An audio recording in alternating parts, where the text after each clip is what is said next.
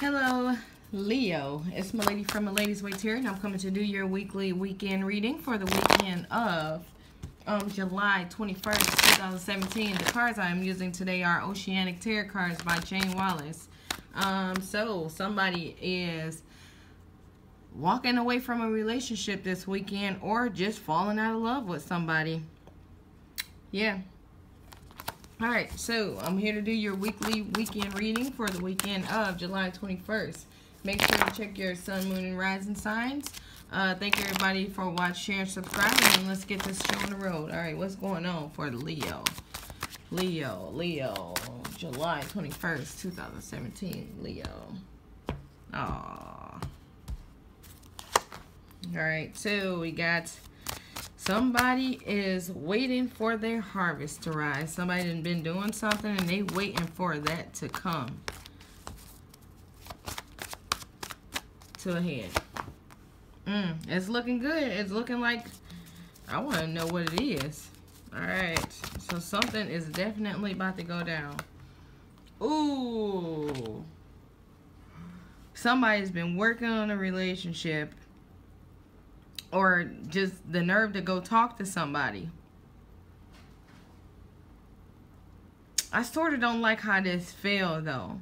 So I'm going to just put it to the side because it like fell and then it flipped. So it could have been right side up. So I'm going to put it sideways. So for some of you, you've been really working on a relationship or getting to talk to somebody or something.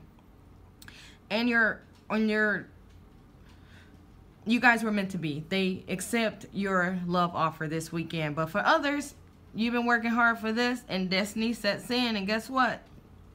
It's not meant to be. But I feel like you still got what you wanted. Like, I feel like at least I tried kind of thing. You know? I got, at least I got it and at least I tried, okay? So for some of you, you're dealing with your exes. Like, I'm going to try to go back here. You know, I put all that work into there. You know, I want to see if it still work. It's going to work out.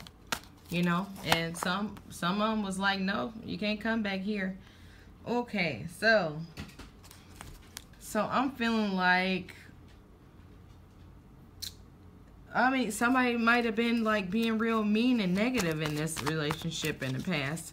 Um, it could be either way, but I'm feeling like this is being done toward the person who is submitting the love offer. Okay.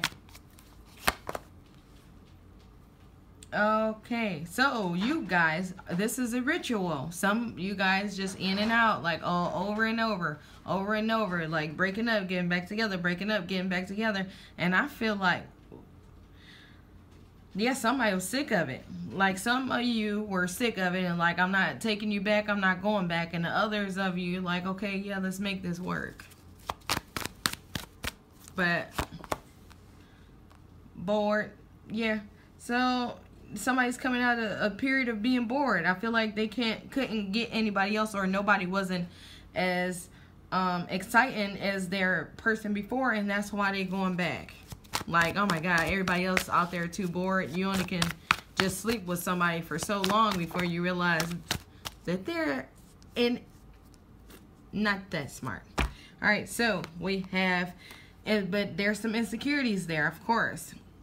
There's some insecurities about um, the turn, the turning down in the past, you know?